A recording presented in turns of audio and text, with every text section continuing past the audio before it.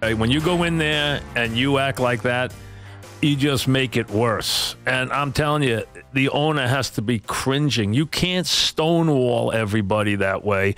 To go in there and waste 20 minutes of that time telling you how good everybody is when the team is a mortal embarrassment is a waste of time. He should have gone in there today, showed some anger, and said, This is unacceptable, and we're going to make changes. We're going to bring in players that can play. We're going to get this turned around. We're going to find people who can play this game to try and tell you, as he did, we're very close to winning. At one and seven, we all know that's not true. Number two, to tell you that you have good players and good coaches. If you have good players and good coaches, why are you one and seven?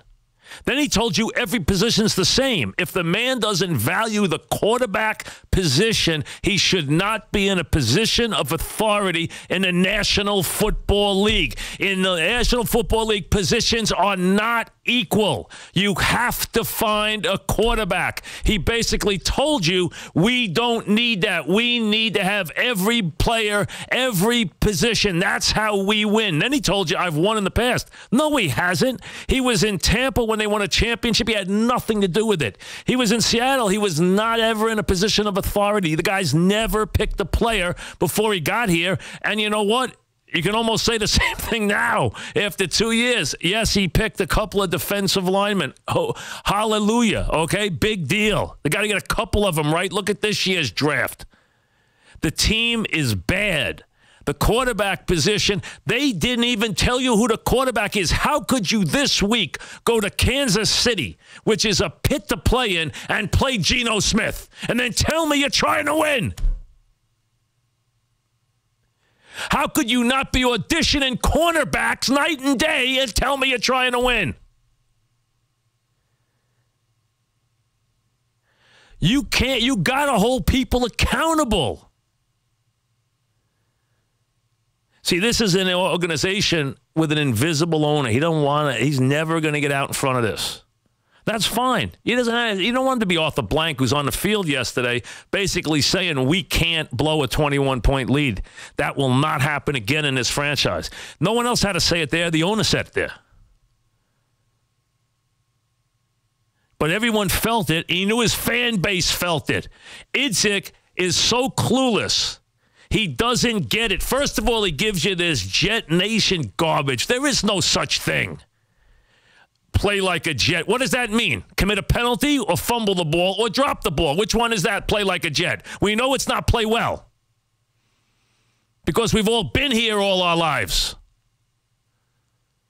So the idea you want to build on a franchise that has been, for the most part, a laughing stock is ridiculous. Where the heck you think same old Jets came from? So this play like a jet stuff is nonsense. I hate hearing it. Jet Nation. There is no Jet Nation. There's no anything. There's Red Sox Nation. There are no other nations. Everyone else is just ripping it off. And they don't exist.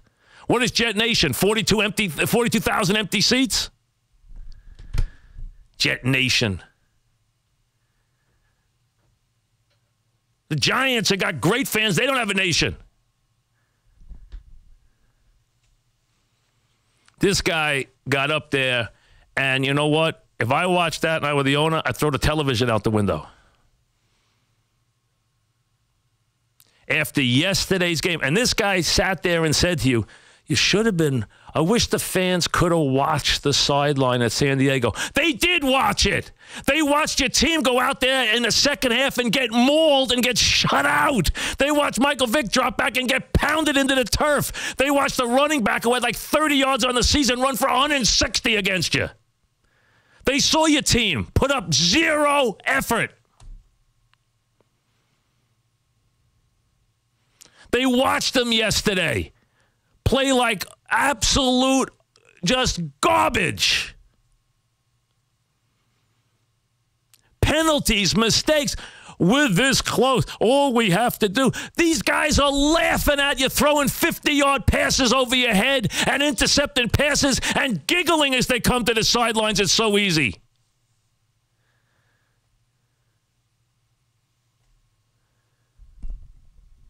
The Bills were bad in the first half in executing yesterday. If they didn't have fired the halftime, they would have had 48 points. They played like garbage. Their coach at halftime, when he's going off the field, said, We weren't very good. He was, They knew it. His team was bad, and they led by seven.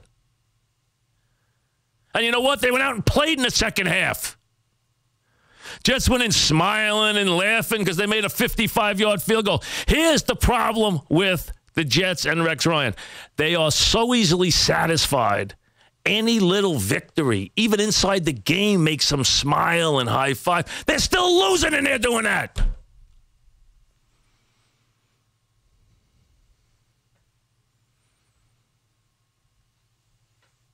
I mean, this franchise, if I took the Rex Ryan press conference yesterday where he told you Geno Smith's still going to be a really good player, and I took this guy who just told you the owner's great, the president's great, the coaches are great, the players are great, you fans are great, everything's great, but we're one and seven. And we've been outscored you know, 230 to 140. And we have one interception on the season. And yesterday, Orton threw for completed 10 passes for 9,000 yards.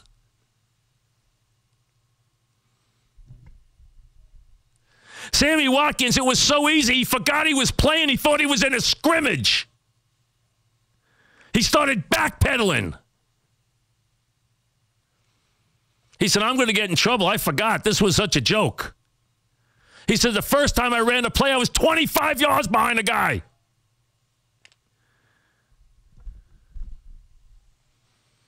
He only caught three passes yesterday for 157 yards.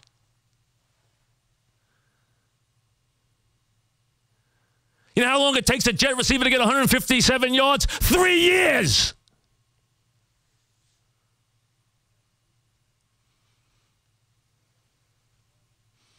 And everything's fine. We just need to evaluate. We need to finish.